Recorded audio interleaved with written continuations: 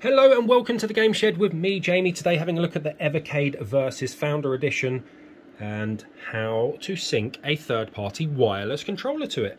As you know, if you've been following the news of the Evercade Versus, it comes with a wired controller. It's not the best controller. I really don't actually like it. The wire feels very flimsy and also the wire is uh, inherently inhibiting. I have to be sat a certain distance away and that's annoying and I've got tons and tons of wireless controllers everywhere so why can't I use them? I can.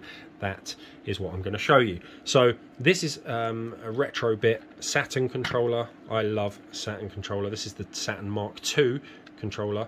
Uh, smoky grey, colourful jobby and it comes with a wireless dongle. So all we're going to do we're just going to pop this in to our machine and we're going to press and hold the sync button on top and it flashes and we're going to press and hold that on the controller and just like that two stationary lights mean we're synced. So if we go up to the screen here sorry it's so sunny.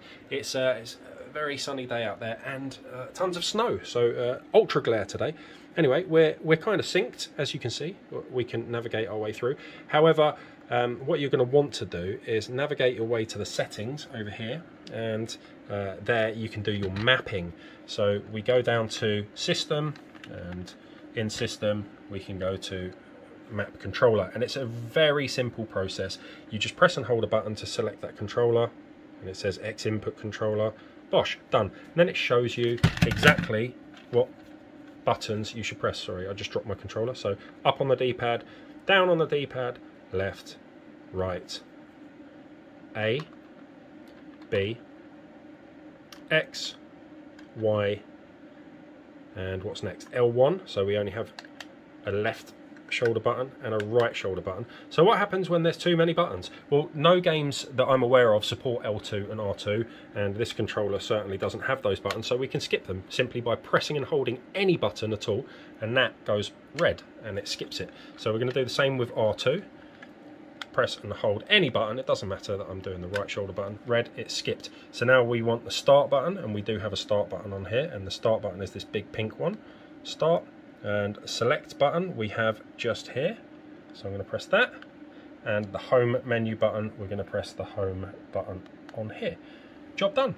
There we go. There's your mapping done. So we're going to save it with our A button, and we're going to go back and that is us synced. So we're going to navigate up to the game cartridges and bosh, let's just go quickly over to BurgerTime. Now I'm currently in player 2 slot, so this isn't going to work immediately because um, it's a two player game and I'm, I'm triggering player 2. So what I'm going to do, I'm just going to swap out the controller a second, put it into player 1 slot as one would expect to do and it just lights up straight away and let's load in the game